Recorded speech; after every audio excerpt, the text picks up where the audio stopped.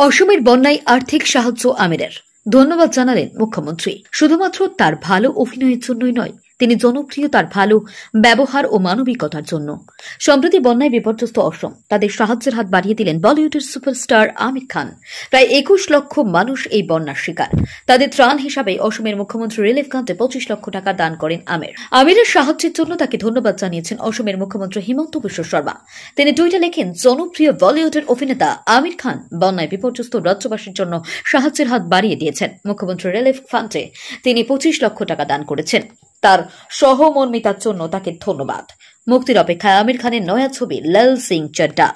Tom হ্যাংসের Forrest Gump অবলম্বনে তৈরি হয়েছে সেই ছবি। গত পাঁচ বছর ধরে এই ছবি নিয়ে ব্যস্ত আমির ইতিমধ্যে মুক্তি পেয়েছে ট্রেলার ও ছবির গান। আমিরের পাশাপাশি এই ছবিতে দেখা যাবে করিনা কাপুর, মোনা সিং ও নাগা চৈতন্যকে।